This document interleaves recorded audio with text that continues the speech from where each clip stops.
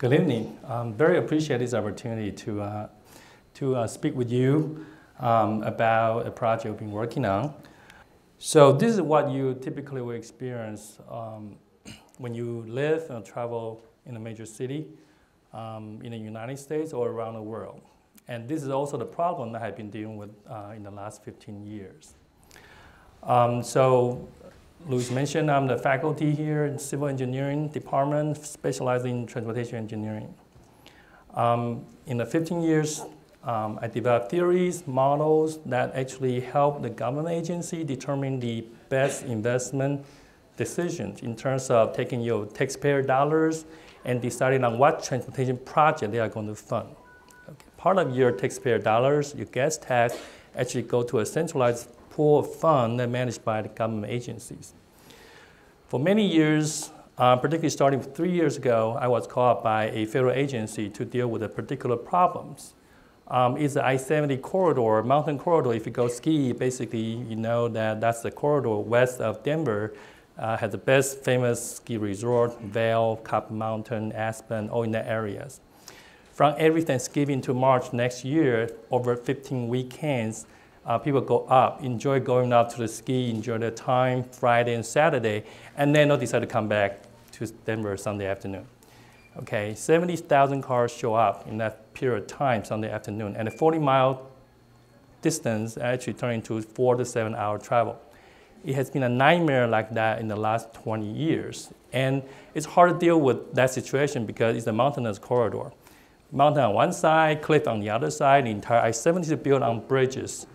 Uh, so anything you want to do, you talk about hundreds of millions of dollar investment only to deal with 15 weekend problems.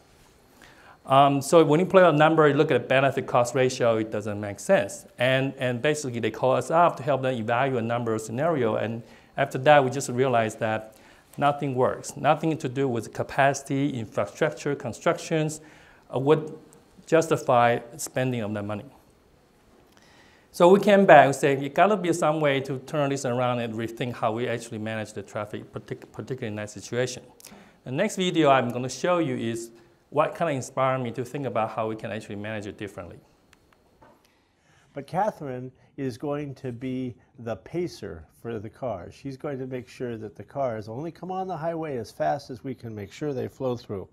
So I'm the old highway, and Catherine is the new hi uh, highway. And amazingly enough, by the time we're all still stuck on the old highway, every we'll do it again, Catherine. Everybody can get. We can put twice as many people home in time. Okay, so what's happening here, right? The funnels are our highway systems. And the right-hand side is what's happening nowadays. You polarize all together and everybody gets stuck. Now, if you can actually pace the speed at which rice is being poured, you can see that actually we can do much better. Nobody gets stuck. We can all through the same system and you don't need to build more. Now it sounds great. You know, I, I use this video in my classes and I showed it to students. Everybody love it. I say, okay, we can understand congestion now. The problem is it's much easier said than done to pace the speed at, at rising port because it's you and me. We'll decide when we want to leave. You know, we get into our car, we, we drive, and then only until when we get into traffic, realize that it's oh, too late. So now the concept is really about can we somehow change the way we choose to lead, what time to lead, and which route to take. Actually, in the last 30 years, there's a, a number of different approaches that have actually been implemented. Now, think about flexible work schedules. Employers, government in, sometimes encourage that. Carpool lanes, that's where the facility dedicated for those who decide to carpool. Um, vanpool, know, rideshare is really a, a, incentive program somehow to help people to decide, you know, they can squeeze as many people into the same car as possible. But, but in the last 20 years, we have not been moving the needle fast enough. And that's why we still have congestion problem.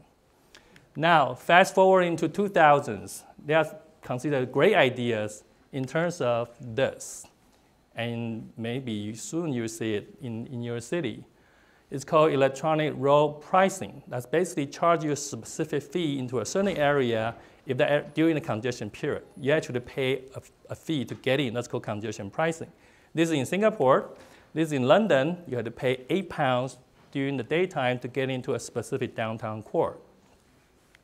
And then this is actually called a congestion pricing toll roads. Uh, this is particularly California CA 91 in Los Angeles area.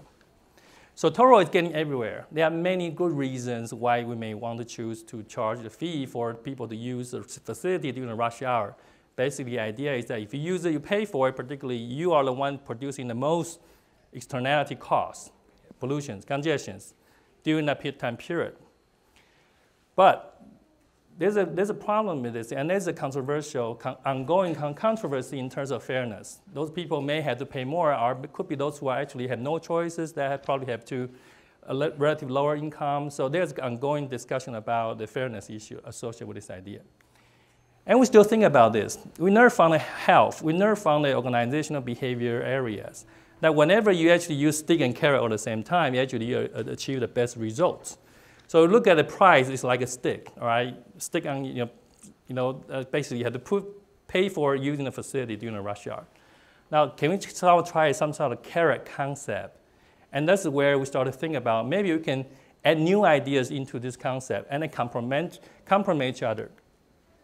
So you think about, hmm, okay, what the carrot means. You start to think about, yeah, hmm, in the real world, this actually happened. When the airline overbook their flights, what they do? They offer vouchers, okay? Anybody want to get off the plane? And if three of us you know, decide to take the offer, get off the next plane and take the next flight, everybody's happy, we solve the problem. The cost for airline to pay for the three vouchers is way much lower than holding everybody. And actually, not only penalty, could be a potential penalty from the, the reg regulatory agency, but you just got the 200 very, very agonized, unhappy customers. Then if you go to Disney World, Disneyland, you see this, Fast Pass. What does that mean? Well, because the condition is so bad in a variety of different rides, so the idea is that you pull a ticket, it tells you that, hey, come back during this time period. The incentive given to you is now you can get into a fast pass. But this concept of scheduling here, you have to reserve your spot to get into use that facility. And they use that to actually balance the load of the entire facility. That sounds great. But how can we all link all this together in order to accomplish what we want to do in terms of a carrot idea? So we started to think about this concept. We first look at data. We take all the data for the entire city. We try to understand which corridor, which freeway started to get congested and from what time to what certain degree of severity. Different facility maybe get congested at different time. And that's what we do as a researcher. We analyze data. Then we develop the app. The app so basically tell the, you know, the user now putting in his origin destinations, we are able to present the user with this kind of information. If you are leaving at 7, the, the app is telling you that, okay, if you leave now, it takes 20 minutes. If you wait a little bit longer, 12 times, it's going to be really, really bad. But if you are willing to wait even longer, actually, you kind of wait out over that peak period. Um, that information is pretty powerful. Users say, hey, now I can make a good decision. I can decide to leave now, or I can wait out a little bit longer. Information is, is an incentive for me to make a choice. Second all, I actually attach some sort of point to different departure time, which means that if you are willing to leave earlier or a little bit later, I'm willing to give you points to reward you for making that choice. And, and if you leave during the peak rush hour, there's no reward.